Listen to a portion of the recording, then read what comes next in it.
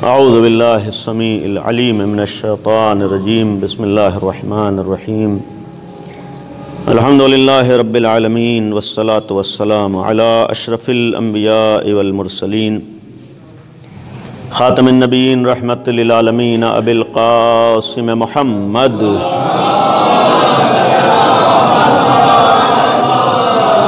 व आलिहि तय्यबीन ताहिरीन अल मासूमीन अल मज़लूमीन लासीमा अमीर अलमुमिनीन अली अबन अबी तालिब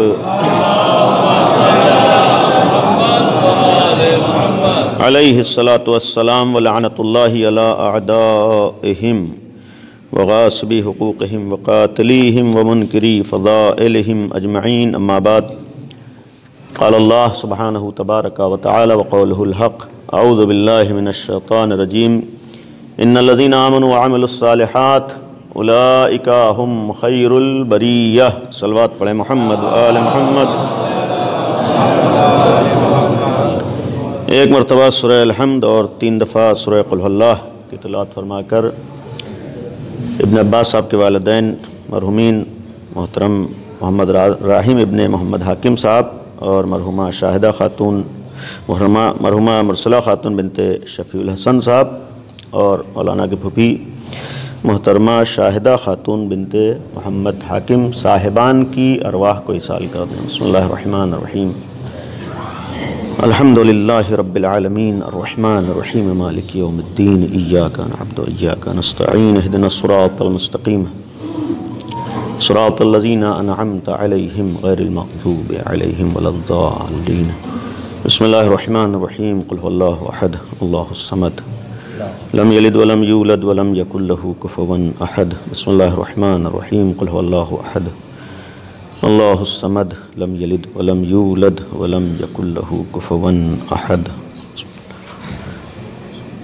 सलवात पढ़े मोहम्मद व मोहम्मद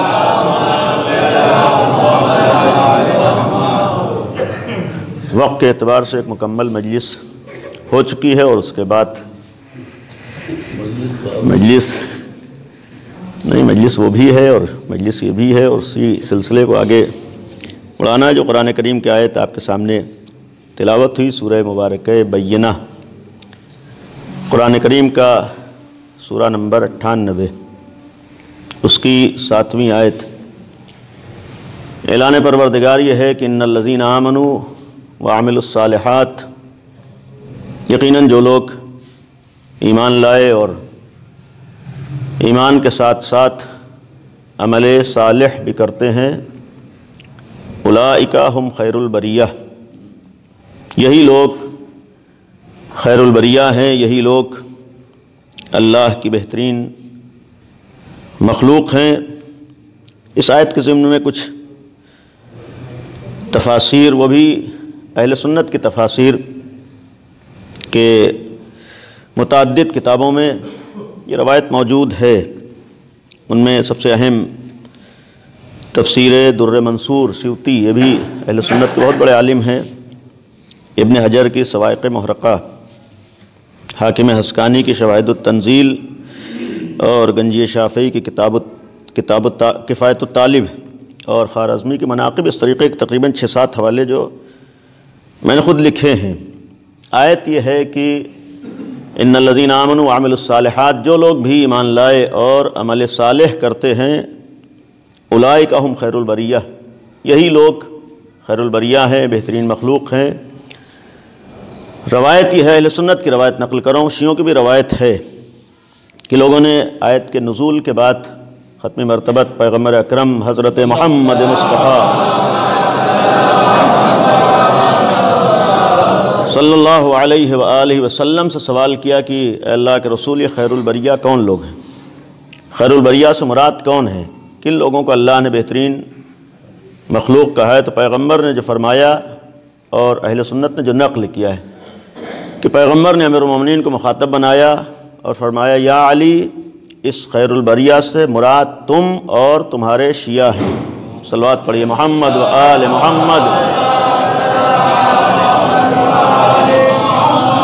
अलबत् यार कदू इसाल सवाब की मजलिस भी है और चूँकि एक मामूली तालब इल्म और ख़ुतबा के सामने ज़बान खोलना भी एक सख्त होता है, लिहाजा कुछ बातें सिर्फ़ अपने जवानों के लिए और जो पढ़ ना पाएँ या बात सही तौर पर ना पहुँच पाए तो उसका एक सबब ये भी है कि बहरहाल एक रोब तारी रहता है।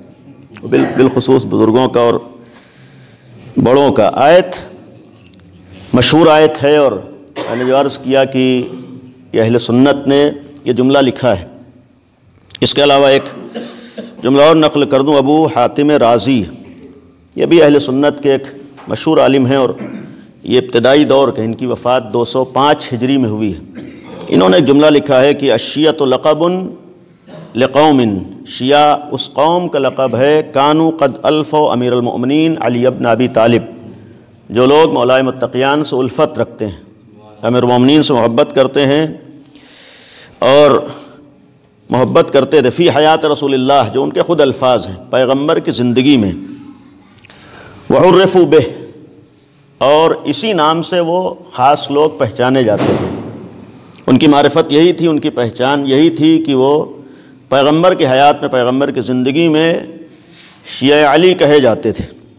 और ख़ुद उसने लिखा है कि मसलन कौन कौन लोग, मिस सलमान फ़ारसी पहली ज़ात सलमान फ़ारसी हैं अभी ज़रील गफ़ारी मकदाद इबन असवत मार इबन यासिर वकान यकालहम शीयत अली इन्हीं लोगों को शिया अली कहा जाता था। एक सलवात पढ़िए, मोहम्मद व आल मोहम्मद। अलबत् दूसरा हवाला जो मैंने लिखा है कि ये भी तीसरी चौथी सदी के एक आलिम है, नौबख्ती, ये भी अहल सुन्नत के फ़िरक़ शिया।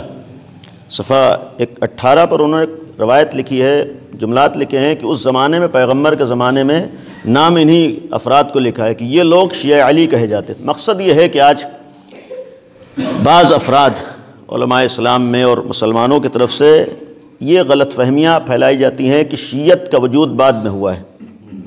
ये शिया मज़हब बाद में वजूद में आया है और जुदा हुआ है और अलग हुआ है और इसी बुनियाद पर जो राफजी कहा जाता है, एक सबब यह भी है कि बाद में अलग हुए। ख़ुद ये अहल सुन्नत की रवायात गवाह हैं कि लफ्ज़ शिया पैगंबर के ज़माने में मौजूद था। यानी ख़ुद ये अहल सुन्नत की रवायात, इसीलिए मैंने हवाले दिए हैं। ख़ुद ये रवायात गवाह हैं कि लफ्ज़ शिया पैगंबर के ज़माने में मौजूद था।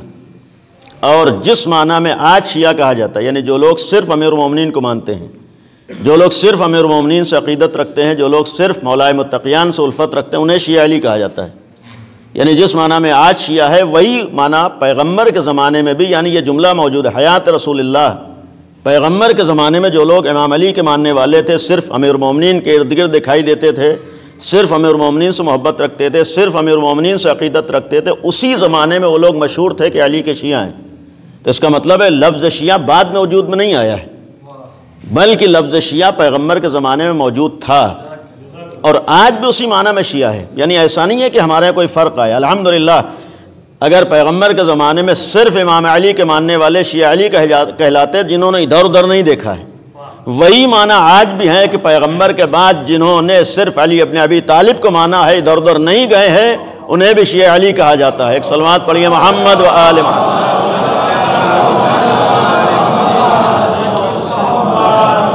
काबिल गौर यह है कि जो मिसालें दी गई हैं उस ज़माने में वाक़ अगर तारीख़ देखें कि जितने भी नाम गैरों ने लिखे, इन लोगों का मामला अलबत् इस हद तक था कि इन्हें कहीं भी जाकर ये नहीं कहना पड़ता था कि हम अली के शिया हैं। यानी इन लोगों का कमाल ये था कि कहीं जाकर इन्हें यह साबित नहीं करना पड़ता था कि हम अली वाले हैं, हम अली के शिया हैं। बल्कि तारीख में लिखा है कि जो भी इन्हें देखता था पाँच छः नाम तारीख में मौजूद हैं जो पैगंबर के ज़माने में शिया अली कहे इन लोगों का कमाल यह था कि जो भी देखता था दूर से यही कहता था देखो अली का शिया आ रहा है। यानी ये भी ऐसे अफराद ने हमारे सामने पैगाम दे वाक़ अगर शिया अली होने पर नाज है तो नाज करने का हक उस वक्त है कि हम अपनी ज़बान से न कहें कि हम अली के शिया हैं बल्कि हमारा अमल और किरदार दूसरे को ये कहने पर मजबूर कर रहा हो, चूँकि अली का शिया है, लिहाजा उसका ये किरदार एक सलवात पढ़े मोहम्मद व आल मोहम्मद। इस झैल में एक मुफसल रवायत है और सिर्फ़ उस रवायत के तर्जुमे की हद तक अगर वक्त रहा तो रवायत के बाद कुछ बातें बयान करने की कोशिश होंगी। तफसीर इमाम हसन अस्करी अलैहिस्सलाम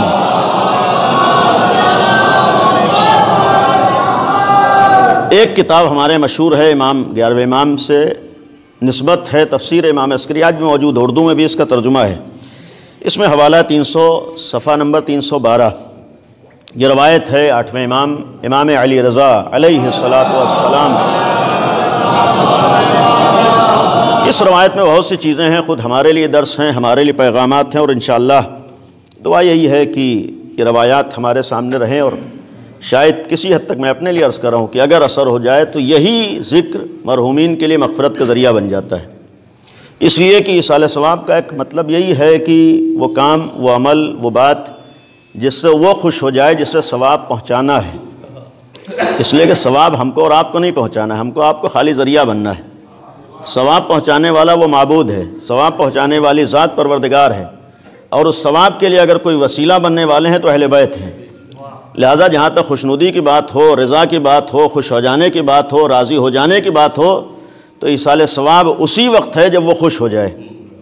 हम खुश हों या ना हो, कोई हमसे खुश होकर चला जाए, कोई हमारी तारीफ़ करके चला जाए या कोई जुमला हम ऐसा कह दें जिससे फ़लाँ खुश हो जाए तो इससे ही साल सवाब होने वाला नहीं है। पूरी बस्ती हमसे खुश हो जाए, तब भी साल सवाब होने वाला नहीं है। पूरा महल्ला हमसे खुश हो जाए, तब भी साल सवाब होने वाला नहीं। इसलिए कि साल सवाब नामी है कि ऐसा काम जिससे खुशनुदी खुदा हासिल हो जाए। तो साल सवाब तो उसी वक्त जब खुदा की खुशनुदी हासिल हो, हम खुश हो ना हो, हमारी खुशनुदी हासिल हो ना हो, लोग खुश हो ना हो, असल मामला यह है कि आज हमारे यहाँ इस साल सवाब के सिलसिले में एक बहुत बड़ी दुशारी ये भी है कि हम ये चाहते हैं सब खुश रहें। ये हो ही नहीं सकता है कि सब खुश रहें। आज ये भी होता है कि भाई, अगर इस साल सवाब किया है और ना खिलाया तो लोग क्या सोचेंगे? बहरहाल माजरत के साथ ये कभी कभी जहनों में आता है कि भाई, ना खिलाया तो लोग क्या सोचेंगे? यहाँ ऐसा कोई मामला नहीं है, लेकिन बाज़ जगहों पर होता है कि इसलिए खिलाना है, फुला ने हमें खिलाया है। फुला जगह गए थे, लिहाजा हम खा कर आए हैं, हमें खिलाना है। नहीं खिलाया तो लोग क्या सोचेंगे? भाई, इतना भी नहीं कर सकते थे। जहाँ ये जहन में आया, इस साल सवाब ख़त्म हो गया। ईसाल सवाब का तो मतलब ही है कि वो काम हो जिससे खुशनुदी खुदा हासिल हो। अगर खिलाना है तो इसलिए खिलाना है कि मोमिन के शिकम में गज़ा जाएगी और यही खुशनुदी परवरदिगार बनेगा। और जहाँ ये एहसास होगा कि उसको खुश करना है तो फिर अपने को जहमत में नहीं डालना है, अपने को मशक्क़त में नहीं डालना है। कभी कभी यह भी होता है कि बहरहाल इंतकाल हो गया है और यही एक परेशानी, इतनी बीमारियों के बाद दुनिया से गए, खर्च हो गया और उसके बाद आदमी को सबसे बड़ी दुशारी होती है कि भाई, अभी पंजुम भी है, अभी सयुम भी है, अभी चालीसवां भी है। आज तो हमारे यहाँ पहले तो सिर्फ़ शादियों ही में एक दुशारी होती थी, शादी का तस्वुर आते ही। आज यहाँ तक नौबत आई है कि अगर घर में मैयत हो जाए तो एक दूसरी मुसीबत आ जाती है कि हमें सयुम भी करना है, पंजुम भी करना है, चालीसवां भी करना है। क्यों दुशारी होती है? जबकि हम खुद जबान से कहते हैं कि अल्लाह हरगिज ये नहीं देखता है कि तुमने कितना किया है। दावा तो हम ये करते हैं कि अल्लाह हमारी नीयत को देखता है। इस दावे के बाद भी हम कितना परेशान होते हैं कि भाई चालीसवां भी होना है सयुम भी होना है पंजुम भी होना है एहतमाम भी होना है। हम दुश्वारियों का लाख शिकार हो जाएँ अल्लाह देखता ही नहीं है कि हमने कितना खर्च किया है। अल्लाह क्या ये मैार ही नहीं है कितने लोग खुश होकर गए माबूद तो सिर्फ़ ये देखता है कि तुमने किस नीयत से किया है। इतना यकीन है कि एक आदमी एक रुपया भी खर्च ना करे उसके मरहूमिन के लिए साल स्वाब हो जाए और ये हो सकता है कि एक आदमी लाखों खर्च कर दे, साल स्वाब हासिल ना कर पाए। इसलिए कि बारगाह परवरदिगार में ये मैार ही नहीं कि तुमने कितना किया। वो तो ये देखता है किस नीयत से किया है, किस दिल से किया, और हमें यह भी यकीन है कि हमसे ज़्यादा हमारे हालात का इल्म हमारे परवरदिगार को है। जब हमारे परवरदिगार को और फिर हम उसकी खुशनुदी के लिए अगर ना कर पाए, अगर हम कर्ज के बाद ये सारे उमूर अंजाम न दे पाए तो यकीन रहे कि साल स्वाब में कोई कमी नहीं आती। सवाब देने वाला परवरदिगार है तो मामला इस सवाब का, जो रवायत मैंने अर्ज़ किया आठवें इमाम इमाम अली रज़ा सलाम रवायत यह है कि लम्मा मामून अलीबन मुसरज़ाम वलायत जब इमाम को वली अहदी मिली है और इमाम मदीने से खुरासान तशरीफ़ लाए, उस वक्त का वाक़ है, दखला अलई है आजना। इमाम के पास, इमाम का दरबार आया, दरबान आया और उसने आकर कहा कि इन नकौमन बिलबाब मौला, कुछ लोग दरवाज़े पर खड़े हैं, यस्ताजनून अलैक, जो आपके पास आने की इजाज़त चाह रहे हैं। यकूलून, उसने आकर मौला से कहा कि ये लोग ये कह रहे हैं, नाहनो मिन शीत अली आने वाले कह रहे हैं कि माली के शिया हैं। यानी कुछ लोग आपसे मिलना चाहते हैं, ये कह रहे हैं कि हम अली के शिया हैं।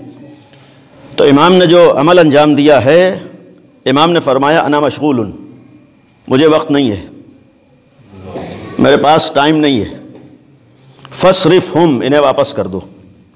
फसरफ हम वो दरबान आया और आने वालों को वापस कर दिया।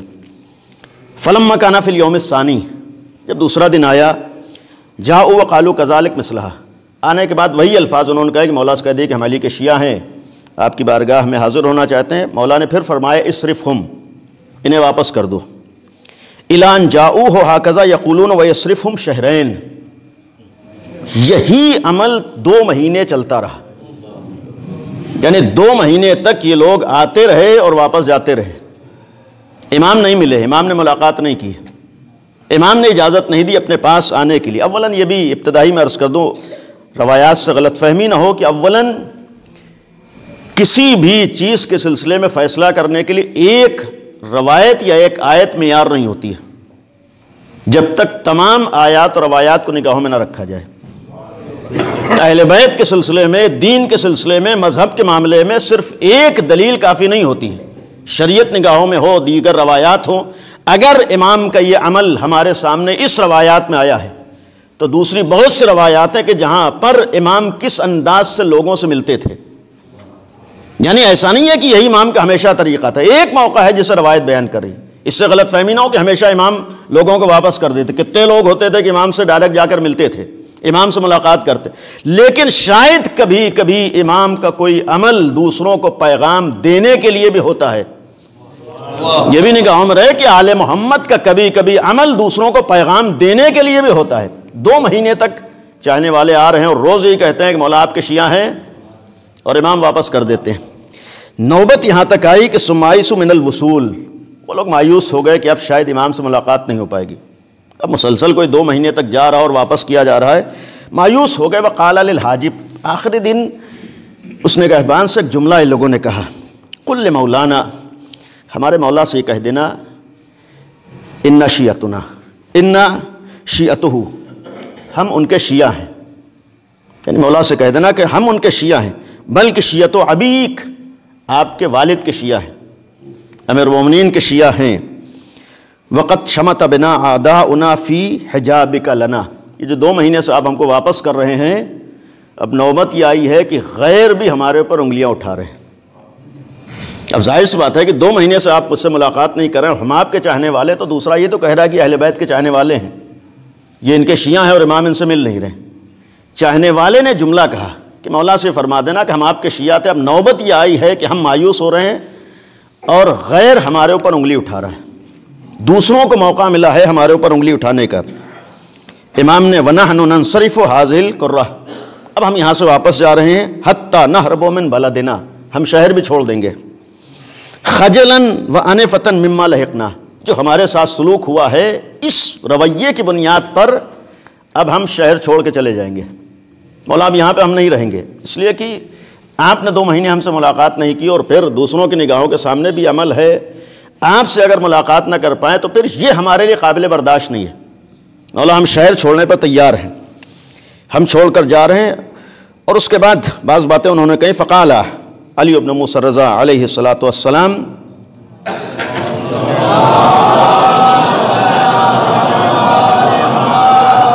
जब आखिर उसने जाकर इमाम से बातें पहुँचाई तो इमाम ने फरमाया ए जिन लहम, अब इन लोगों को इजाज़त दो। अब इन लोगों को इजाज़त दो लेत खलू, ताकि ये लोग हमारे पास आएँ। फ़द खलू अलई ये लोग आए फसलम अलई फ़लम यरुद्द अलहिम। आने के बाद इन लोगों ने सलाम तो किया, लेकिन रवायत के अल्फाज हैं कि इमाम ने जवाब सलाम नहीं दिया।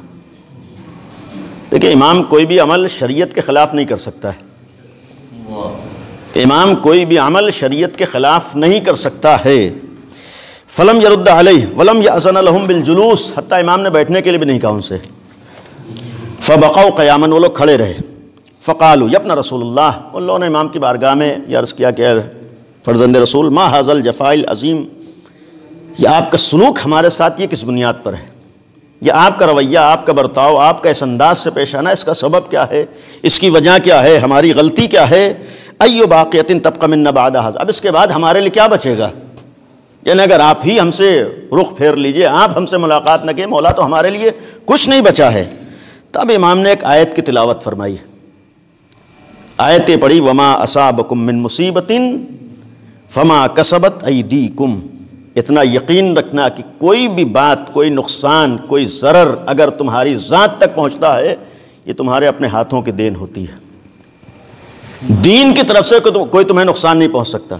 इमाम का भी अगर ये रवैया है, ऐसा नहीं कि तुम्हारे इमाम तुम्हारे साथ बुरा सलूक कर रहा है। इमाम तुम्हारे साथ जुल्म कर रहा है, इमाम तुम्हारे साथ गलत बर्ताव इमाम ने फरमाया, कुरान ये कह रहा है कि कोई भी नुकसान अगर तुम्हारी ज़ात तक पहुँचता है तो तुम्हारी वजह से होता है। इस आयत का एक मफहूम है कि अगर ये नौबत आई है कि हमने मुँह फेरा है तो हम सबब नहीं है, बल्कि तुम्हारा अमल सबब है। यानी ऐसा नहीं है कि हमने किसी वजह से तुम्हारे साथ ये सलूक किया। नहीं, तुम्हारे कुछ अमाल ऐसे होंगे और उसके बाद जो इमाम फरमाते हैं मकतदई तो अल्ला बरबी अज़्ज़वजल्लफ़ीकुम वब रसूल वब अमीरमिन वमिन बादमिन आबाह ताहरीन अतबु अलैकुम फ़ख्तदई तो पहिम ये मैंने जो रवैया अपनाया, ये मेरा अपना नहीं है, बल्कि मैंने परवरदिगार का की इतबा की है, यही तरीक़ा पैगंबर का भी है और यही तरीक़ा अमीरमिन का है। यानी ऐसा नहीं कि तनहा मेरा ये रवैया है। मैं अल्लाह के अहकाम का ताबे हूँ, रसूल के अहकाम का ताबे हूँ अमीर अमीरमिन का। मैंने ये तरीक़ा जो अपनाया है, अपने आबा अजदाद का तरीक़ा है जो मैंने पेश किया है। यानी खाली आठवें इमाम का मामला नहीं है कि इस अंदाज से पेश आ रहे हैं, बल्कि फरमाया कि यही तरीक़ा मैंने खुदावंद आलम के हुक्म के आगे सर तस्लीम को खम किया है। उसके बाद फरमाया कालमाज़ इबन रसूलुल्लाह, वजह क्या है? सबब क्या है? काल दावाकुम अन्नकुम शीयत अमीरमिन अली इबन अबी तालिब। उसका सबब यह है कि तुमने ये दावा किया है कि तुम अली के शिया हो। यानी इमाम ने फरमाया, चूँकि इतना यकीन है कि इमाम को उनके बारे में पता है, इमाम जानते हैं कि आने वाला कौन है। चूँकि इमाम को मालूम है, इमाम ने फरमाया, चूँकि तुमने ऐसा दावा किया है, लिहाजा मेरा रवैया तुम्हारे साथ ये तुम्हारी ज़बान पर ऐसी बात आई है वही हकुम इन नमाशियत अब इसके बाद जो इमाम ने एक जुमला फरमाया है, तुम्हें इतना मालूम हो कि अली के शिया तो सर फहरिस अल हसन वल हुसैन। अली के शिया तो हसन हुसैन है। और उसके बाद फिर फरमाया कि अली के शिया तो अबू ज़र सलमान है। फरमाते हैं कि अली का अगर कोई शिया है तो सर फहरिस्त तो खुद माओ इमाम है, लेकिन उसके बाद अगर कोई है अबूज़र है, सलमान है, मकदाद हैं अमार यासिर हैं, मोहम्मद इबन अबी बकर हैं। यानी इमाम ने फरमाया, अगर अली के शिया हैं तो ये हैं। और उसके बाद वजह भी बयान फरमा दी। ये शिया अली क्यों हैं? इन्हें मैं शिया अली क्यों मान रहा हूँ और तुम्हें मानने पर तैयार नहीं हूँ? फरमाया कि अल्लजीन अलम युखालिफु शई मिन अवामर इसलिए कि ये लोग वो हैं जिन्होंने ज़र्रा बराबर मेरी मुखालफत नहीं की है। ये वो हैं कि जिन्होंने ज़र्रा बराबर मेरी मुखालफत नहीं की है। इसका मतलब शीयत का पहला मैार यह है कि जो अपने इमाम की मुखालफत ना करता हो। शीयत का पहला मैार यह है कि जो जिसने इमाम मान लिया है, फिर यह हो ही नहीं सकता है कि मौला कुछ कहें और हम कुछ कर रहे हों। एक बाप के साल सवाब की मजलिस भी है। आज कम अज़ कम इतना तो हमें यकीन है कि कोई भी बेटा अगर ये तारीफ़ करे कि हम अपने बाप के मानने वाले हैं और बाप की मुखालफत करे तो कोई भी मानने पर तैयार नहीं होगा कि आप बाप के मानने वाले हैं। हर आदमी यही तो कहेगा कि अगर बाप के मानने वाले हैं तो बाप की भी तो आप मानते हो। यानी हर आदमी यही तो कहता है कि अगर आप बाप के मानने वाले हैं तो उसी वक्त बाप के मानने वाले हैं, जब बाप की बात भी तो मानते हो। अगर हमारा दावा है कि हम अली के मानने वाले हैं तो उसी वक्त अली के मानने वाले हैं, जब अली की भी तो मानते हो। जब हम अमीर मोमिन की तो पैरवी करते हो जो अमीर मोमिन ने फरमाया है अल्लाजीना युखालफ शैन लम युखालफ जिन्होंने हरगिस मुखालफत नहीं की है इसलिए कि हमारा शिया पहली शर्त है कि हमारी मुखालफत नहीं करता है। करता वही है जो हमने कहा है वलम यरतकबु शैन मिन फ़नून जवाजर और अगर हमारा शिया है हर गिज हर गिज कोई ऐसा काम नहीं करता है जो हमें नापसंद है। यानी शीयत का मैार जो इमाम फरमा रहे पहली शर्त है कि जो हमने कहा है वो किया, करता है और जो हमें नापसंद है वो नहीं करता है। बिल्कुल बेन ही इन्हीं मफहूम की एक रवायत सिद्दीक़ ताहरा, शहजादी कौनैन, हज़रत फ़ातिमा जहरा। सलामुल्लाह की भी है, शायद सुनी हुई रवायत हो कि एक मर्द ने अपनी शरीक हयात को सिद्दीक़ ताहरा के पास भेजा कि जाकर पूछ के आओ कि हम आपके शिया हैं, नहीं हैं। रवायत यह है कि जब सवाल किया कि हम आपके शिया हैं, नहीं है तो शहजादे कौनैन ने एक जवाब दिया है। जवाब में ये नहीं फरमाया कि तुम हमारे शिया हो, नहीं हो, बल्कि एक मैार बताया था। जाकर उससे कह देना कि जितनी बातों का हमने हुक्म दिया है, अगर सब मानते हो, यहाँ फिफ्टी फिफ्टी का मामला नहीं है। यहाँ ऐसा कोई मामला नहीं है कि जो हमारी समझ में आएगा, हम मानेंगे, जो नहीं समझ में आएगा, नहीं मानेंगे। यहाँ तो मामला है सिद्दीक़ इतार, जो भी हमने कहा है, अगर उसे मानते हो, और जिन चीज़ों से हमने रोका है, उन सारी बातों से रुकते हो। तब तो हमारे शिया हो, वल्ला फला शहजादी कौनैन के अल्फाज हैं कि तब तो हमारे शिया हो, वरना हमारे शिया नहीं हो। इमाम ने फरमाया कि हमारे चाहने वाले हमारे शीयत का मैार जो हमारी बातों पर अमल कर फ़न फ़म तुम इसके बाद इमाम फरम, लेकिन तुम्हारा हाल ये है, इज़ा कुल तुम इन नकुम शिया तो तुम ज़बान से तो कह रहे हो कि अली के शिया है, लेकिन वन तुम फ़ी अक्सर आमालकुम लहू मुखालिफून। तुम्हारी ज़बान पर तो ये है कि तुम अली के चाहने वाले अली के शिया हो। लेकिन बहुत से काम अली की मर्ज़ी के ख़िलाफ़ भी करते हो। अली की मुखालफत भी तुम करते हो और जो अली की मुखालफत करे, वो सब कुछ बन जाए, अली का शिया नहीं बन सकता है। यानी जो अली की मुखालफत करे, वो सब कुछ बन जाए, शिया अली नहीं बन सकता है। उसके बाद मुकसर नफ़ी कसीर मिनल फ़राइज़, बहुत से फ़राइज़ और ज़िम्मेदारियों में भी तुम्हारे यहाँ कोताहियाँ पाई जाती हैं। बहुत से वाजिबात में भी तुम्हारे अंदर कमियाँ कोताहियाँ पाई जाती हैं। मुतहावन अज़ीम हकूक़ अखवान फ़िल्ला तुम अली के शिया होकर अपने ईमानी भाइयों के सिलसिले में भी कोताहियाँ करते हो। यानी ये भी फरमाया कि तुम अपने को ज़बान से कहते हो कि अली के शिया हो। अली का शिया जिन चीज़ों का ख्याल करता है, उनमें ईमानी भाइयों के हकूक़ भी होते हैं। इसमें दूसरों का ख्याल भी है। तुम इसमें भी कोताहियाँ करते हो, इसमें भी लापरवाही करते हो और उसके बाद एक जुमला फरमाया, तत्तकून हईसल्ला तजीबुतक़ैया तुम ऐसी जगह पर तकैया कर लेते हो जहाँ ना करना चाहिए। ऐसी जगह खामोश हो जाते हो जहाँ खामोश ना रहना चाहिए। ऐसी जगह घर में बैठ जाते हो जहाँ बैठना ना चाहिए। व तत्रुकून तकैया यदमन तकैया और ऐसी जगह तुम आगे बढ़ जाते हो जहाँ बढ़ने का हक नहीं है। यानी इमाम फरमा रहे हैं कि ऐसी जगह तुम कदम बढ़ाते हो कि जहाँ पर तुम्हें हक नहीं है कदम बढ़ाने का। तकैया का एक मफहम यह भी होता है कि हो सकता है यहाँ तक नौबत आ जाए कि हमें वाजिबात को छुपाना पड़े। तकैये का मफहम है कि हो सकता है हमें अपने अकायद को भी ज़ाहिर न करना पड़े। तकैये का मकसद यह है कि दिल में कुछ है, हक हमारे दिल में है, लेकिन ज़बान से हमें हक का इजहार न करने पर मजबूर होना पड़े। इसे कहते हैं तकैया। इमाम ने फरमाया, हर जगह हक बात कह देना यह शीयत का मैार नहीं है। हर जगह सही बात पेश कर देना, ये हमारे शिया की पहचान नहीं है। हमारे शिया की तो एक पहचान ये है कि उसके अंदर इतनी सलाहियत पाई जाती है कि कहाँ पर कौन सा अमल करना है और कहाँ पर कौन सा कदम उठाना है। हमें यह कहने का हक नहीं है कि हमेशा से हम एक काम करते चले आ रहे हैं, लिहाजा क्यों छोड़ दें। हमें यह हक नहीं है कि यह काम तो हमने हमेशा किया है। दीन का मामला है, मज़हब का मामला है, अकीदे का मामला है, आज़ादारी का मामला है। यह इमाम के जुमलात पैगाम है कि वाक़ शिया अली हैं तो हमें यह फैसला करना है कि इस वक्त हमारे मौला की मर्ज़ी क्या है। इस वक्त अली क्या चाहते हैं? इस वक्त जो हमारे ज़माने का अली है, उसकी मर्ज़ी क्या है? अगर उसकी मर्ज़ी है कि इमाम अली के 25 साल दौर को निगाहों में रखकर, इमाम हसन की सुलह के अमल को निगाहों में रखकर खामोशी अख्तियार करना पड़े तो हमारा शिया वही है जो खामोशी अख्तियार कर लेता है। और अगर यह फैसला करे कि हमारे सामने करबला जैसे हालात हैं, अमीर मोमिन का पाँच साल ज़ाहरी दौर हुकूमत है तो फिर वह आगे बढ़ के साबित करता है कि हम अली के चाहने वाले हैं। एक सलमान पढ़ दे, मोहम्मद वाले मोहम्मद। उसके बाद फरमाया फ़लाकुन तुम इन नकुम व अगर ये कहो कि हम अली से मोहब्बत करने वाले अगर ये कहो कि हम अली के चाहने वाले वल वल अलियाए अमीर ममिन के चाहने वालों के चाहने वाले हो, वल मुआदून आदा लियादाए उनके दुश्मनों के दुश्मन हो अगर तुम इतना कह रहे हो, लम अनकरा मिन कौलकुम, तब हम तुम्हारी बात की तरदीद नहीं करते हैं। यानी अगर ये कहो कि अली से मोहब्बत करते हैं तो फिर हम मान लेंगे। अगर ये कह रहे हो कि तुम अली के दुश्मनों से खाली नफरत करते हो तो हम मान लेंगे। लेकिन शिया अली हम उस वक्त तक मानने पर तैयार नहीं है, जब तक जो हमने मैार बताया है, उसके ऊपर पूरे ना उतर रहे हो। यानी इमाम फरमा रहे हैं कि हम इतना तो मान लेंगे कि तुम हमारे चाहने वाले हो। हम ये तो तस्लीम कर लेंगे कि हमसे मोहब्बत करने वाले हो। इसलिए ये जुमला दलील है कि अली से मोहब्बत करने वाला हर ऐरा गैरा हो सकता है, लेकिन अली का शिया हर ऐरा गैरा नहीं हो सकता है। शियत का एक मैार है। अमीर मोमिन का शिया हो जाना आसान नहीं है।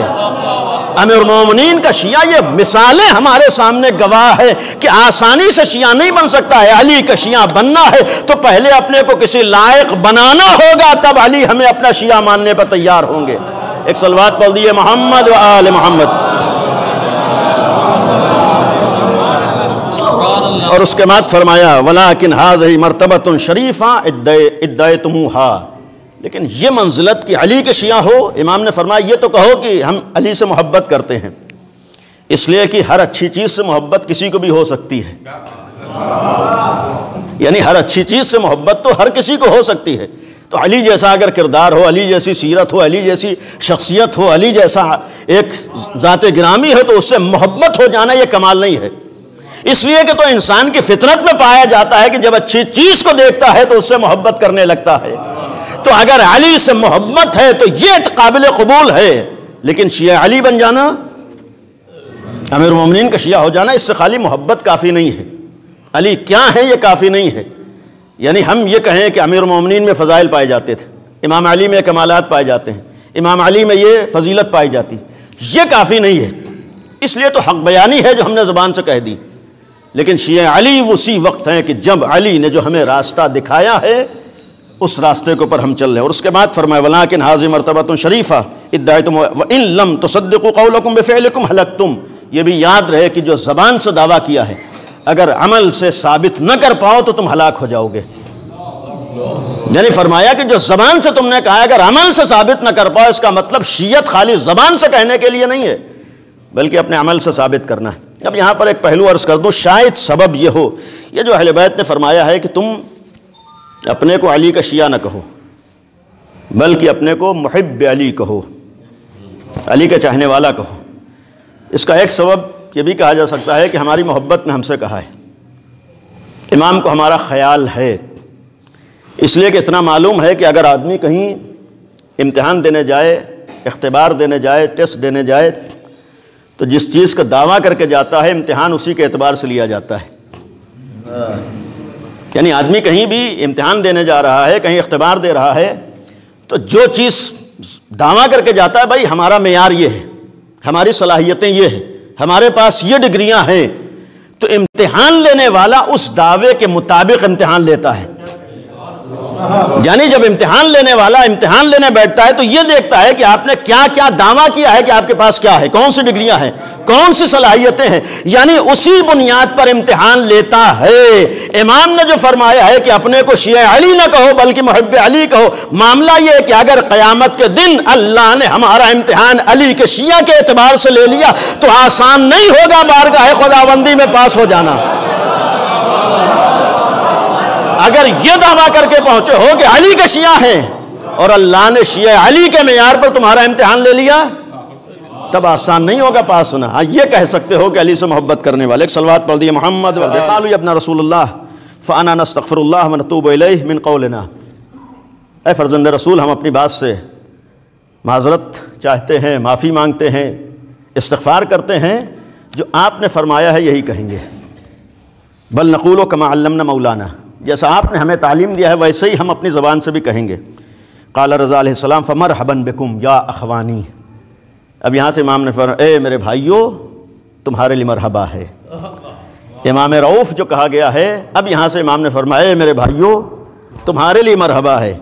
वह वुद्दी ए मेरे मुझसे मोहब्बत करने वालों। ए मेरे चाहने वालों। हत्ता इरतफ़ऊ इरतफ़ऊ इरतफ़ऊ, आओ। ऊपर आओ, ऊपर उठो ऊपर उठो और उसके बाद रवायत के जुमलात फ़मा अज़ालफ़ाहम इमाम ने उन्हें इतना उठाया हत हत्तालसक़म बनफ से अपने दिल से लगा लिया। यानी दो महीने तक इमाम मिलने पर तैयार नहीं थे। अब इमाम ने उठकर उन्हें सीने से लगा लिया और उसके बाद फरमा सुम काल हाजिब अजीब गरीब रवायत के जुमलात, ख़त्म करना रवायत है कि अपने निगहबान से सवाल किया कि ये लोग कितनी मरतबा आकर वापस हुए ये लोग कितनी मरतबा हमारे पास आए थे? उसने कहा कि मौला, साठ मरतबा।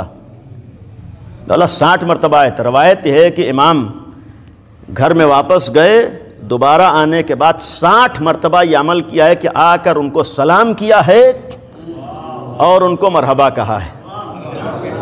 यानी इमाम का अमल ये है कि साठ मरतबा, इमाम ने फरमाया, तुम चूँकि साठ मरतबा वापस गए थे खुद इमाम बार बार वापस आते थे, उन्हें सलाम करते थे और उन्हें उनका इस्तकबाल करते थे। अतः यही नहीं है, बल्कि अपने हाजिब से भी सवाल किया कि तुमने कितनी दफ़ा इनको वापस किया है। मौला सात मरतबा ये वापस गए तो मैंने भी साठ दफ़ा इनको वापस किया है।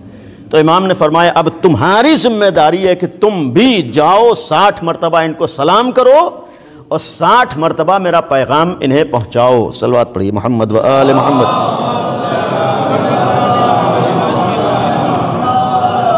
अलबत्त मुफसल रवायत है, मैंने अपने भाइयों के लिए और छोटे भाइयों और जवानों के लिए। यकीनन इस तरह की हदीसें हमारे लिए दर्स हैं। लेकिन इन अहादीस के ज़िम्न में खाली एक रवायत, सातवें इमाम इमाम मूसी काजिम अलैहिस्सलाम इमाम ने फरमाया, इन्ना, इन्नमा शियतना मन शैयाना व तबा आसारना वक्तदा बेमालना सातवें इमाम की हदीस है कि हमारा शिया वो है जो हमारी मुशायत करता है। हम लोग एक लफ्ज़ उर्दू में इस्तेमाल करते हैं तशी जनाजा। शिया वहीं से निकला है। इमाम ने फरमाया, हमारा शिया वो है कि जो हमारी मुशायत करता है, हमारी तशी करता है। हम लोग तशी जनाजा कब बोलते हैं? तशी जनाजा उसी वक्त कहते हैं कि जिधर जिधर जनाजा जा रहा हो, उधर उधर हम जा रहे हों। जनाजे से आगे चलें, तब भी जनाजे की तशी नहीं है। ज़्यादा पीछे हो जाएँ, तब भी जनाजे की तशी नहीं है। जिस रफ्तार से जनाजा चल रहा हो, उसी रफ्तार से हम चल रहे हों। जहाँ पर जनाजा रुक जाए, वहाँ पर हम रुक जाए। जहाँ चलने लगे, वहाँ पर चलने लगे। जिधर जनाजा मुड़े, उधर मुड़े, तब इसे कहा जाता है तशी जनाजा। इस महल्ले में मैयत जा रही हो। हम यहाँ पर बैठे हुए कह रहे हो कि हम तशी जनाजा कर रहे हैं। कोई एक भी मानने पर तैयार नहीं होगा। आदमी कहेगा, तशी उसी वक्त होती है कि जब आप उसके साथ साथ चलिए। तशी उसी वक्त होती है कि जब उसको आप फॉलो कीजिए। उसको देखिए किधर जा रहा है। शीयत का मतलब अली के शिया होने का एक मतलब यही है कि इंसान सिर्फ़ ये देखे कि हमारे अली क्या करते हैं। उसे खाली ये देखना है कि हमारे अली का अमल क्या है। और यहीं पर मौलाइत का तो असल मफहूम ही है कि हमारी निगाहों में अली के सिवा कुछ और ना हो। हम सिर्फ़ अली को देखते हो, हमारी निगाहों में अली हो, हमारे सोच में अली हो, हमारी फ़िक्र में अली हो, हमारी जबान पर खाली अली ना हो, बल्कि हमारे अमाल किरदार में भी अली अपने अभी तालिब हो। हमें यह देखना है कि अली ने क्या किया है। अली का अमल कौन सा है? और इतना यकीन है कि जब अली थे, अमीर मोमिन की अजमत का एक पहलू ये भी है कि इमाम अली ने हर गिस मर्ज़ी परवरदिगार के ख़िलाफ़ कोई अमल अंजाम नहीं दिया। है शब हिजरत गवाह है कि इमाम अली ने अल्लाह की मर्ज़ी को ख़रीदा है। मर्ज़ी अली को, मर्ज़ी खुदा को ख़रीदने का मकसद ये है कि ऐलान था कि अली वही करेंगे जो मर्ज़ी खुदा होगी। अली वाले होने का मतलब यही है कि हमें यह पहचानना है कि अली की मर्ज़ी क्या है। और से माजरत के साथ इतना कहने का कि मौलाइत का मतलब सिर्फ़ ये है कि निगाहों में अली हो। अमीर मोमिन क्या चाहते हैं? इमाम अली की पसंद क्या है? इमाम अली की मर्ज़ी क्या है? इमाम अली की तमन्ना क्या है? इमाम अली का हुक्म क्या है? अली की मर्ज़ी के मुताबिक ज़िंदगी गुजार देना इसी को शरीयत कहते हैं, इसी को मौलाइत कहते हैं। अमीर मोमिन को मानने का मतलब यही है कि हमें सिर्फ़ अली को देखना है। हत्ता मौलाइत के लिए हमें यह हक नहीं है कि हमें यह देखना पड़े कि हमें क्या अच्छा लगता है।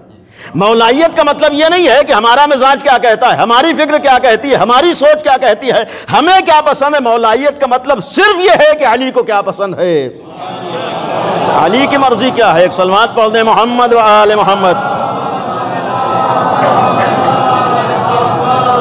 और बहरहाल इतना कहने का हक़ है कि अमीर मोमिन की मोहब्बत ही ख़त्म कर रहा हूँ अमीर मोमिन की मोहब्बत का एक मतलब यह है कि इमाम अली की एक पहचान ये थी कि उनके अंदर ख़ता का तस्वुर नहीं था। मासीत व गुनाह का तस्वुर नहीं था। तो एक अली वाले की ज़ात में, ज़िंदगी में ख़ता और मासीत का तस्वुर नहीं हो सकता है। इसीलिए बाब तौबा हमेशा खुला रहता है। अमीर मोमिन जैसी ज़ात एक वसीला इस बुनियाद पर है कि गलतियाँ हो जाना और है वो गलती करना और होता है। अली का चाहने वाला कभी भी ये साबित हो जाने के बाद ये ख़ता है उस ख़ता को दोहराता नहीं है। एक सलमात पढ़ दिए मोहम्मद व आल मोहम्मद। अमीर मोमिन के मानने वाले होने का मतलब ये है कि हमें यह पहचाना मर्ज़ी अली क्या है। लेकिन अगर साबित हो गया ये ख़ता है तो फिर अली वाले की पहचान नहीं, कोई ख़ता कर रहा हो। अमीर मोमिन की मोहब्बत, विलायत का एक मफहम हमें हर कदम पर देना है। और इतना यकीन है कि मर्ज़ी अली का अगर माँ नाम शरीयत है, दीन है, विलायत है तो हमारे अमाल उस वक्त तक बारगाह खुदा में कबूल हो ही नहीं सकते जब तक मर्ज़ी अली हमें हासिल ना हो जाए। आज नमाज़ भी उसी वक्त काबिल कबूल है जब हमें मर्ज़ी अली मिल जाए। इसलिए कि अली की मर्ज़ी ही खुदा की मर्ज़ी है। अमीर मोमिन की मर्ज़ी, अल्लाह की मर्ज़ी है। अगर अली राज़ी है तो नमाज़ काबिल कबूल है। अगर ये नमाज़ हम इसलिए पढ़ें कि दूसरों को चढ़ाना है।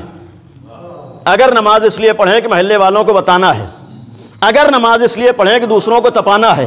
तो ये नमाज़ नमाज़ नहीं रहेगी। ये उठना, बैठना तो हो सकता है, इबादत नहीं हो सकती है।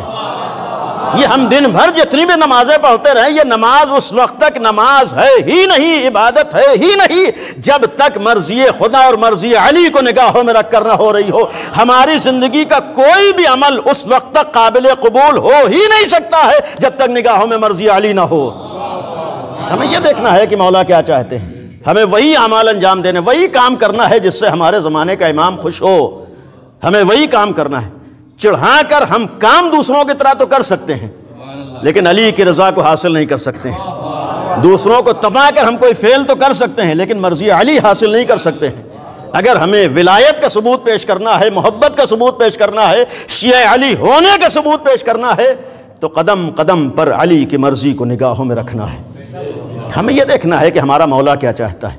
और ख़त्म करो इतना यकीन है कि जब एक अली दुनिया में आए आज तक दुनिया को एक अली बर्दाश्त नहीं है। अगर वाक़ जितने चाहने वाले हैं, वो वाक़ शे अली बन जाएँ तो फिर दुनिया में बुराइयाँ, दुनिया में ख़ताएँ, दुनिया में अयूब ये ख़ुद ब खुद ख़त्म हो जाएँ। इसलिए कि शीयत का मतलब ही ये है कि उस ज़ात गिरामी से मंसूब कर दिया गया है, जिसे अली कहा गया है। अली का मतलब होता है बुलंदियाँ। जो अली से मनसूब हो जाता है, वहाँ पर पस्तियाँ खुद ब खुद ख़त्म हो जाती हैं। जहाँ पर अली से मनसूब हो जाता है, वहाँ पर बुराइयाँ खुद ब खुद ख़त्म हो जाती हैं। और जब इतनी बुलंद ज़ात की मोहब्बत और विलायत इंसान के दिल में आ जाती है तो उस दिल से सारी बुराइयाँ खुद ब खुद ख़त्म हो जाती हैं। इसीलिए आखिरी रवायत सरकार सैदुलशहदा हज़रत इमाम हुसैन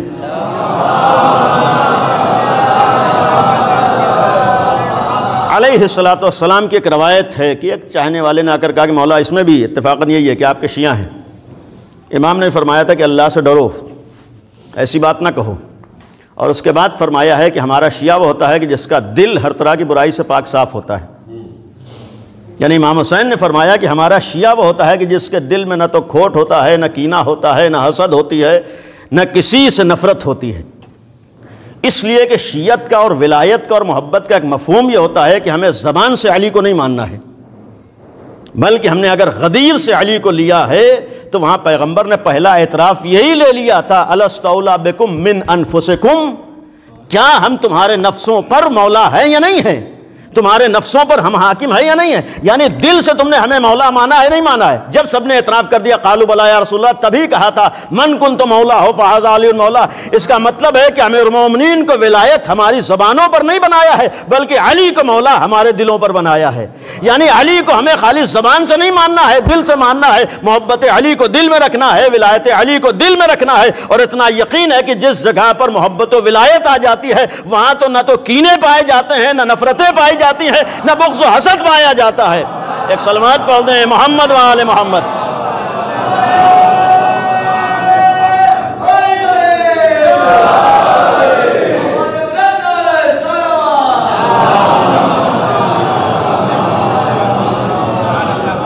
शीयत का एक सबूत ये भी मुतद रवायतें इसी माना में है कि शीयत का एक सबूत ये भी पेश करना है कि अपने दिलों को साफ़ करना है। और आखिरी इमाम के भी हम लोग, आखिरी बात है बस कि आखिरी इमाम के जहूर के मुंतज़र हैं।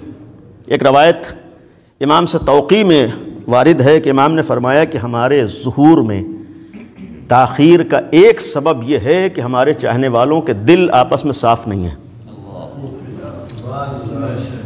यानी हदीस का मफहम अर्ज़ कर रहा हूँ कि हमारे चाहने वालों के दिल आपस में साफ़ नहीं। हम लोग हर वक्त तो कहते हैं, मौला तशरीफ़ ले आइए। लेकिन बगल में बैठे हुए एक अली के चाहने वाले को बर्दाश्त करने पर तैयार नहीं है। यानी हम जबान से तो कहते हैं कि आका तशरीफ़ ले आइए, लेकिन एक आका के मानने वाले को हम बर्दाश्त करने पर तैयार नहीं। यानी आज हम एक दुश्मन खुदा से तो हाथ मिलाने पर तैयार हैं। लेकिन अगर किसी अली वाले ने हमारे मिजाज के ख़िलाफ़ बात कर दी है तो उससे हाथ मिलाने पर तैयार नहीं है। आज हम नाम अली पर दुश्मन अली से तो मिलने पर तैयार हैं, लेकिन एक अली वाले को बर्दाश्त करने पर तैयार नहीं है। आज हम एक अमीर अमीरमिन के मानने वाले को ये किस तरह की मोहब्बत अली है कि हमें एक अली का चाहने वाला बर्दाश्त न हो। इतना यकीन रहे कि जब तक हम अली के चाहने वालों को अपना समझने का जज्बा नहीं रखेंगे, हम विलायत अली का सबूत पेश नहीं कर पाएँगे। अगर वाक़ अली का चाहने वाला बनना है तो कम अज़ कम इस मरहले में आके साबित करना है कि जो भी अली वाला हो हमारा अपना है। हमें किसी के दिल में झाँक कर देखने का हक नहीं है कि उसके अंदर कितनी विलायत पाई जाती है। हमें किसी के दिल में झाँक कर देखने के हक नहीं है कि उसके दिल में कितनी मोहब्बत पाई जाती है। इसलिए कि दिलों के राज का जानने वाला या खुदा की ज़ात है, या आल मोहम्मद है। हमें खाली हुक्म दिया गया है कि जो जबान पे आ गया है, खाली उसे देखो। अगर किसी ने जबान से अपने को अली का चाहने वाला कह दिया है तो तुम अली के मानने वाले उसी वक्त हो कि उसे अली का चाहने वाला मानते हो। हम अगर एक अली के चाहने वाले को, और फिर अगर अली के चाहने वाला आज हमारे यहाँ इस हद तक अहल बैत का एहतराम है, अल्हम्दुलिल्लाह एहतराम है, कि हम सिर्फ़ अहल बैत ही का एहतराम नहीं करते हैं, बल्कि कोई चीज़ अगर अहल बैत से मंसूब हो जाती है उसका भी एहतराम करते हैं। अल्हम्दुलिल्लाह हमारे यहाँ आल मोहम्मद का इस हद तक एहतराम है, और अल्हम्दुलिल्लाह इतना ज़्यादा एहतराम, शायद मैंने जुमला वहाँ पर अर्ज़ किया था, लेकिन यहाँ आखिर में दोहरा दूँ, कि इस हद तक हमारे एहतराम है, कि अगर ऐसी चीज़ें जिनकी कोई हैसियत ना हो, अगर वह अहल बैत से मंसूब हो जाएँ तो वो भी काबिल एहतराम हो जाती हैं। लकड़ी इसकी अहमियत नहीं है, कपड़ा अहमियत नहीं है, कागज़ उसकी अहमियत नहीं है, जानवर उसकी अहमियत नहीं है। लेकिन अगर यही चीज़ें अहल बैस से मनसूब हो जाएँ तो काबिल एहतराम हो जाती हैं। भाई, अगर हम लोग ताबूत का एहतराम करते हैं, अलम का एहतराम करते हैं जुलझना का एहतराम करते हैं तो ना तो लकड़ी का एहतराम करते हैं, ना कागज़ का एहतराम करते हैं, ना कपड़े का एहतराम करते हैं, ना जानवर का एहतराम करते हैं। बल्कि जो नस्बत उनके अंदर पाई जाती है, उसका एहतराम करते हैं। सवाल यही है कि अगर लकड़ी नस्बत की वजह से काबिल एहतराम हो सकती है, अगर एक कागज़ नस्बत की वजह से काबिल एहतराम हो सकता है, अगर एक कपड़ा नस्बत की वजह से काबिल एहतराम हो सकता है, एक जानवर नस्बत की वजह से काबिल एहतराम हो सकता है तो क्या एक मर्द मोमिन आल मोहम्मद की तरफ़ नस्बत की वजह से काबिल एहतराम नहीं हो सकता है? आज हम बेजान चीज़ों के एहतराम के कायल हैं। भाई, हमें किसी की ज़ात का एहतराम नहीं करना है। हमें किसी के ज़ात का एहतराम नहीं करना, उस नस्बत का एहतराम करना है जो उस ज़ात के अंदर पाई जाती है। वाकयन मोहब्बत अली है, वाकयन मोहब्बत हुसैन है तो हमें यहाँ पर भी साबित करना है कि हम इतना एहतराम करते हैं, जो चीज़ हुसैन से मंसूब हो जाती है, वो हमारे लिए काबिल एहतराम हो जाती है। हम उसका नस्बत की बुनियाद पर एहतराम करते हैं, और फिर अगर एहतराम करते हैं, खाली एहतराम नहीं करते हैं बल्कि हम अपने को शिया उसी वक्त समझते हैं कि इन चीज़ों की तोहन भी नहीं करते हैं। और जब इन चीज़ों की तोहन नहीं करते हैं तो खाली तोहन करते ही नहीं है, बल्कि अगर कोई तोहन कर दे तो उसे भी बर्दाश्त नहीं करते हैं। आप इंसाफ से बताइए कि आपके सामने अगर कोई, मसलन जुलझना की तोहन करे, क्या आप बर्दाश्त करेंगे? क्या आलम की तोहन करे, आप बर्दाश्त करेंगे? क्यों? क्या लकड़ी की तोहन हुई है? क्या जानवर की तोहन? आप यही तो कहते हैं कि इसकी तोहन नहीं है। बल्कि इसके अंदर जो नस्बत पाई जाती थी, उसकी तोहन है। तो अगर बेजान चीज़ों की तोहन हमें काबिल बर्दाश्त नहीं है तो कम अज़ कम जानदार चीज़ों की भी तोहन हमें काबिल बर्दाश्त ना होना चाहिए। हम कह के तो गुजर जाते हैं, भाई, हमने कुछ नहीं किया है। हमारे सामने मोमिन की बेज़ती होती रहे। हमारे सामने मोमिनी की तोहन होती रहे। हमारे सामने एक मर्द मोमिन को रसवा किया जाता रहे। हम खुश होते रहें। इसे शीयत नहीं कहते। इसे अली का चाहने वाला नहीं कहते। वाक़ मोहब्बत अली है तो हमें यह बर्दाश्त न हो कि एक अली के चाहने वाले पर कोई भी नस्बत लगे। हमारा एहतराम तनहा हमारा एहतराम नहीं है, बल्कि हर अली के चाहने वाले का एहतराम हमारे यहाँ है। और अगर एहतराम है तो एहतराम में हमारे यहाँ अगर नस्बतें बढ़ जाती हैं तो एहतराम बढ़ भी जाता है। अगर वही अलम जो हम दुकान से यहाँ से ख़रीद लाएँ तो एहतराम करते हैं। लेकिन अगर करबला से लेकर चले आए तो उसका एहतराम ज़्यादा करते हैं। क्यों? आप यही कहते हैं, वहाँ नस्बतें ज़्यादा हैं। तो जहाँ नस्बतें ज़्यादा होती हैं, वहाँ एहतराम भी ज़्यादा होता है। जहाँ नस्बतें ज़्यादा होती हैं, वहाँ एहतराम भी ज़्यादा होता है। हर मोमिन का हमारे यहाँ एहतराम है। लेकिन अगर किसी का इल्म इल्म आल मोहम्मद हो, किसी के पास लिबास लिबास आल मोहम्मद हो तो जितनी नस्बतें बढ़ती जाएँगी, उतना एहतराम बढ़ता जाएगा। और जब एहतराम बढ़ेगा तो फिर तोहन भी, एक मर्द मोमिन की तोहीन हराम है।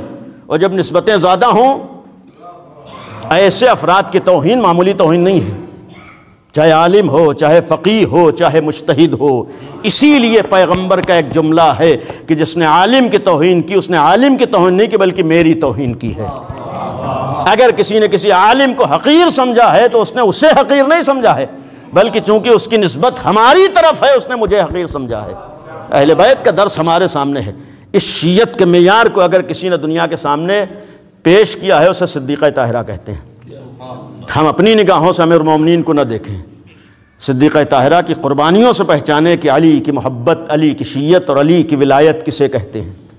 इसलिए कि जब अली पे आँच आने लगी है तो इतनी अजमतों की हामिल ज़ात ने अपनी शहादत का नजराना पेश कर दिया है, लेकिन अमीर मोमिन पे आँच नहीं आने दी है। इतनी अजमतों के बाद आसान नहीं होता है ऐसी खातून घर से बाहर चली आए। आसान नहीं होता है ऐसी खातून को दरबार तक जाना पड़े। लेकिन यह अमल इसलिए भी किया था कि यह पैगाम दिया है कि अपनी निगाहों से अली को पहचानने की कोशिश न करना। आओ सिद्दीक़ ताहरा की निगाहों से पहचानो कि अली कौन हैं। अली वही ज़ात हैं कि फ़ातिमा जहरा, जिसकी अजमतों को करोड़ों सलाम हो।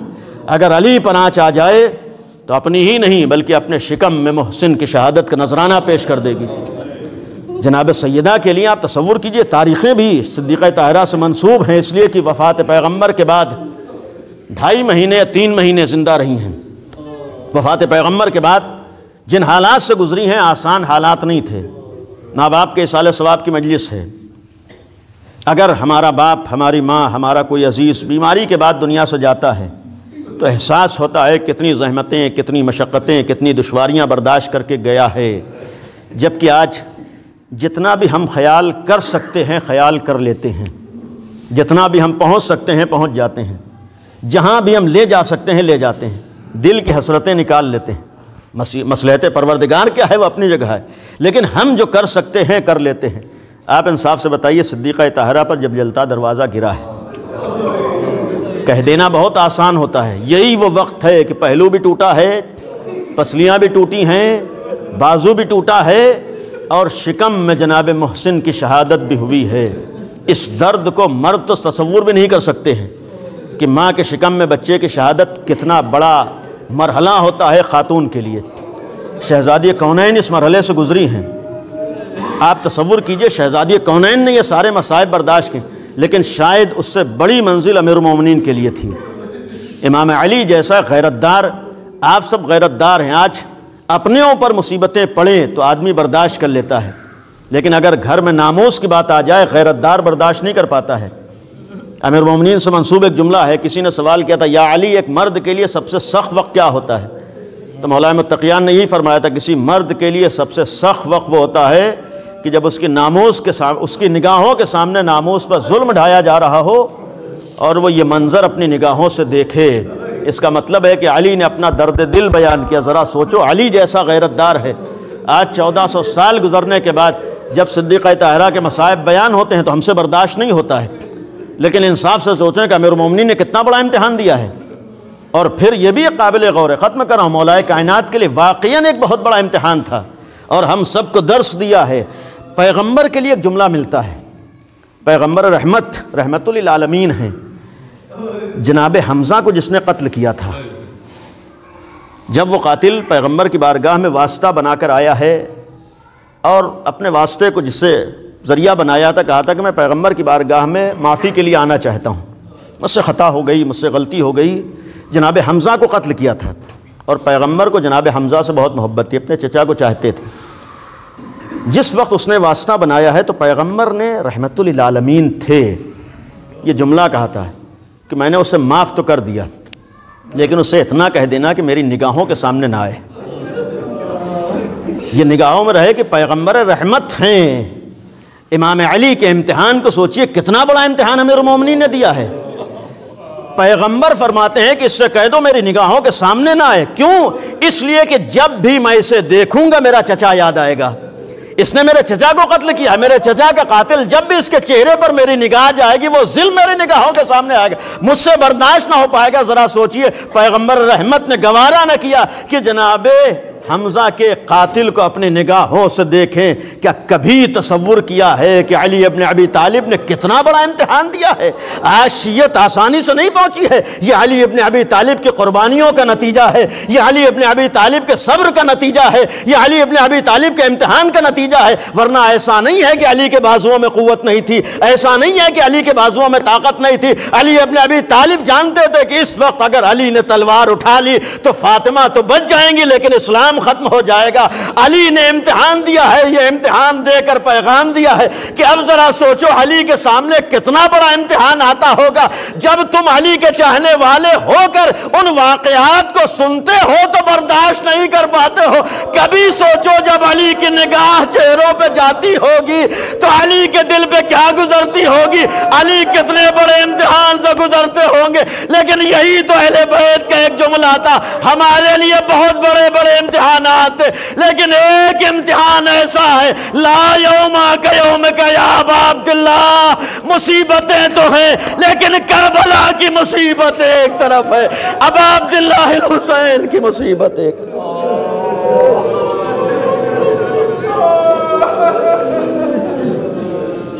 लानतुल्लाकौमज़ालमीन सयालमल्लिन ज़लमू अयमनकलबीनकलबून खुदाया हमारी इस इबादत को कबूल फरमा।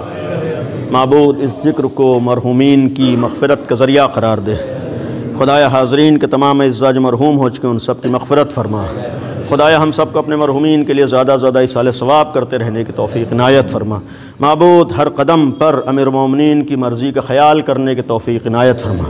खुदाया अली अपने अबी तालिब का वास्ता हम सबको हकीकी माना में शे अली बनने की तोफ़ी नायत फरमा। मबूद इमाम अली को हमसे राज़ी और खुशनूद फरमा। परवरदगारा हाजरीन की दिली हाजात को कबूल फरमा। मबूद, जो परेशान हाल हैं, अहल बैत का वास्ता उन सब की परेशानियों को दूर फरमा। मबूद, जो बीमार मरीज़ हैं, आल मोहम्मद का वास्ता उन सबको शिफाए कामिल आजिल नायत फरमा। मबूद, इस पुराशोब दौर में हमारे जवानों और बच्चों की हिफाजत फरमा।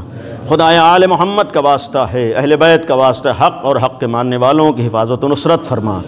मबूद, बातिल और ालमीन अगर लायक हिदायत हैं तो उनकी हिदायत फरमा। अगर लायक हिदायत नहीं हैं तो उन सबको नीस्त नाबूद फरमा।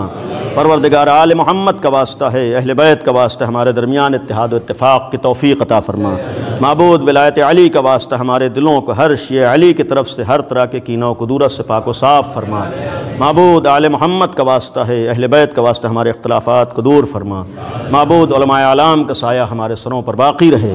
मबूद इमाम ज़माना के जहूर में ताजील फरमा। खुदाया इस वबा का ख़ात्मा फरमा।